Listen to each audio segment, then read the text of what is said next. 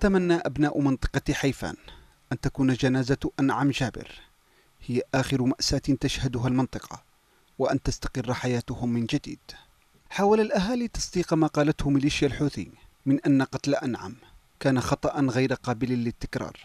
لكن ثمانية أشهر منذ الحادثة كانت كفيلة بالرد على تساؤلات من يعرفون الرجل الخمسيني الذي كان عائدا من السوق واعترض طقم تابع للميليشيا طريقة.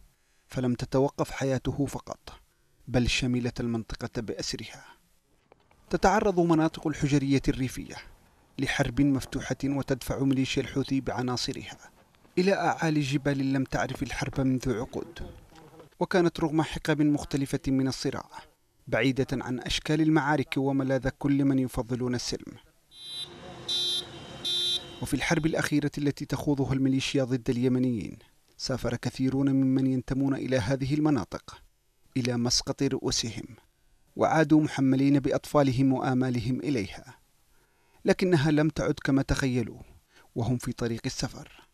تلك المناطق التي لم تعرف صوت الرصاص إلا ابتهاجا أصبحت هدفا وعلى أبنائها أن يبحثوا عن قرى بديلة ينزحون إليها وينتظرون ويتذكرون من قيل لهم إن موته كان خطأ.